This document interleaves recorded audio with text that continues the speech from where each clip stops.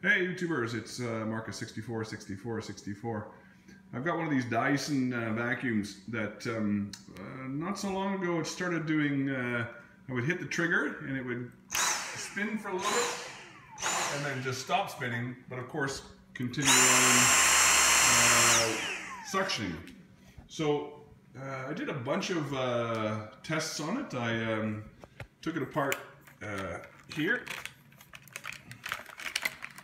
and stuck a continuity tester on those two on those two uh, prongs uh, and everything was fine in the motor head down that way. I uh, worked my way back on the wand, stuck a little uh, a wire that, that connected uh, those two holes there basically put a little wire that went around the corner and then checked the continuity of the wand and it was fine as well.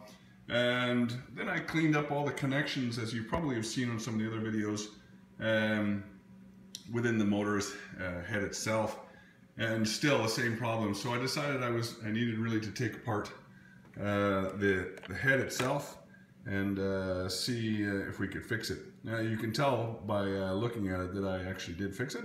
So we're going to go back in time and um, I'll show you uh, how I thought, well, I'm going to take the power head apart and see what we can find. And um, so I won't go into most of the parts pretty easy. You know how everyone knows how to take this piece off. Everyone knows how to take the little thing off the end here, pull out the thing, pull out the uh, power head itself. And uh, all I did was I just started taking out all the different uh, little um, T8 uh, uh, screws. So there's one, two, three, four, five, six, seven, and then it's simply a matter of just pulling it apart. Um, you do have to pry a little bit back there, but once you've got all of those off, this will just pop right out. So I'm going to put this over here for a second, see if we can get that someplace okay. And this just pops off like so. Comes apart. And that's what it looks like from the top down. There's a uh, little motor there.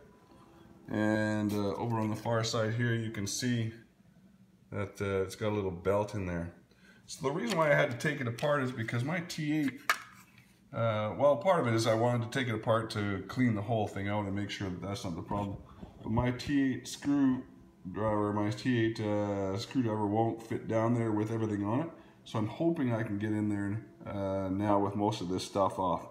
So I'll stop the video now and uh, we'll see what happens.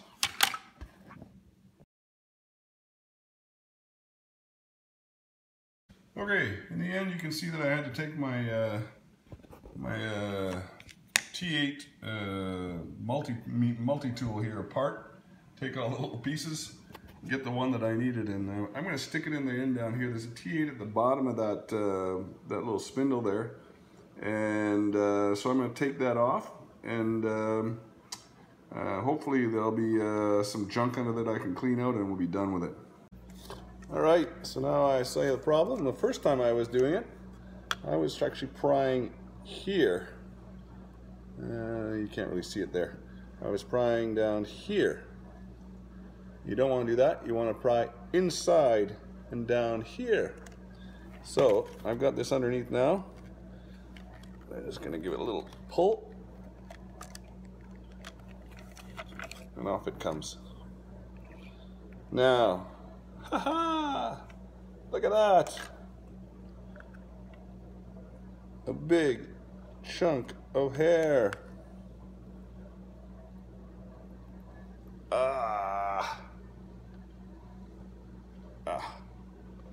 So, I'm to clean the rest of that out. There's still way more in there. Oh my gosh. Yeah. So, I'm to clean that out, put it all back together again, and I'll let you know how it goes. Hey, it's the moment of truth. I put it all back together again. Let's see if the power head works. it does! Awesome! So all it was, guys, was this big chunk of hair. It doesn't really show too good against that black. I'll move it. Big chunk of black hair, probably from our cats, sitting inside that one little bit. Now, having uh, having uh, said all that, I think, you know, I probably didn't need to take all this stuff off if I would was able to get in down underneath here with a with a screwdriver and just take that one screw out that I was showing you and pull the, that little spindle off, you probably could uh, save yourself a bit of bit of time and trouble. But um, anyway, now you get to see what it looks like inside, and uh, I've cleaned it all out inside as well. And hey, I'm pretty happy. All right, thanks a lot. And uh, if this uh, video helped you out, like my uh, like the video and uh, subscribe to my channel. It would really help. Thanks.